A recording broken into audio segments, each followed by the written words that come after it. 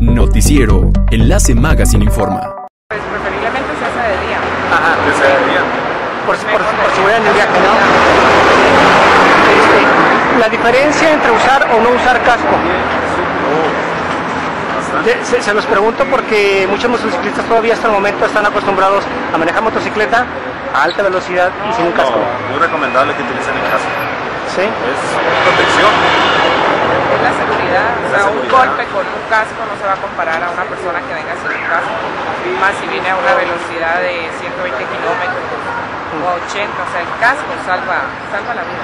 Es más riesgo en, manejar motocicleta en la carretera que en las calles de la ciudad. Siempre va a haber un riesgo.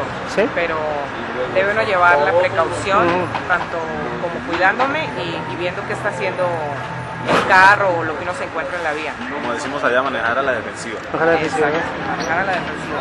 Ok. Ahora está usted bien informado.